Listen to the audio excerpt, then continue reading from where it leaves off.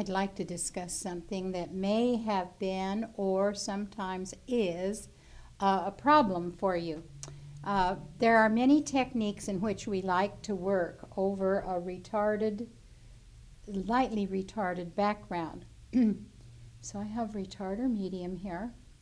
I have a brush to apply the retarder medium and I put the retarder medium on.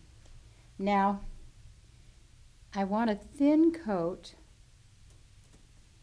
and this is too heavy a coat. So sometimes I blot it with a soft lint-free cloth.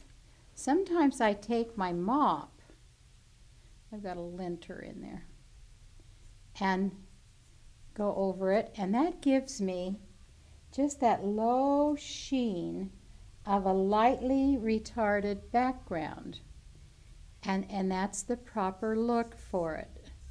But sometimes when you go to do this you you take your background and you put on your retarder and you you brush it on. Now let me tip it so you can see it. I'm going to have to work here a minute. You brush it on and instead of staying out smooth and even it kind of clumps together. And so we get uneven coverage of the background. See how it has clumped up? Why does this happen? Well, in our experience, it happens for one of two reasons, usually. Um, you may have a little too much all-purpose sealer. See, I like to put all-purpose sealer with my background colors when I base paint uh, for most objects. Um, you may have a little too much all-purpose sealer. I like about 10, 10%. Also, it may be a piece that sat on the shelf for a while. The sitting on the shelf, as this piece has for a while, just the dirt and dust of daily living get on the piece and there's enough oil in the daily dust to cause that uneven application of retarder. What you do is just take it and rub it and that retarder will cleanse the surface so that when you come back to retard the surface it will go on smoothly and evenly. See that? And I'm not getting any clumping or unevenness of that application.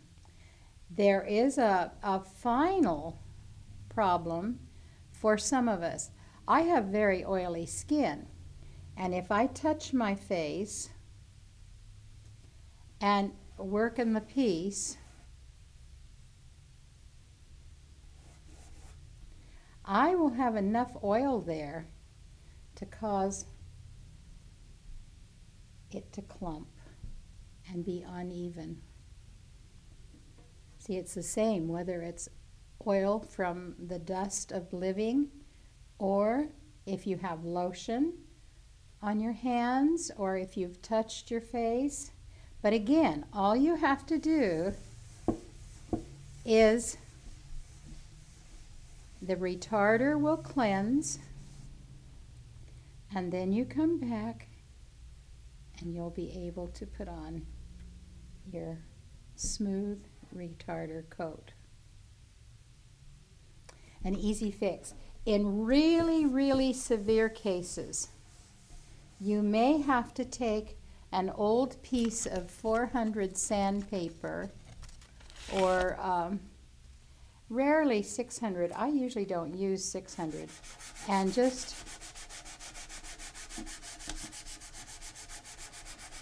sand a little bit.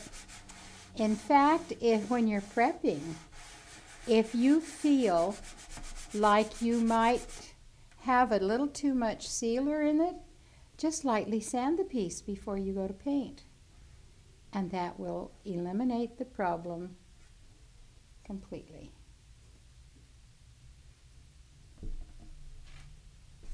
I hope this helps you.